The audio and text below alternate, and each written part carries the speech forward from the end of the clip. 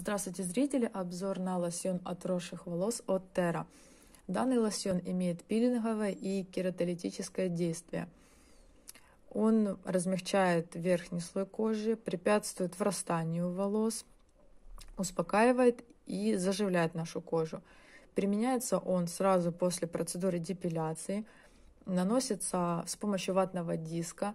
Рекомендуют использовать его 2-3 раза в неделю – Лосьон не требует смывания.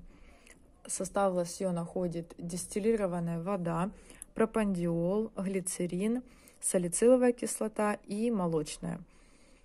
Данную продукцию можете приобрести у нас в магазине. Ссылка будет в описании. До новых встреч!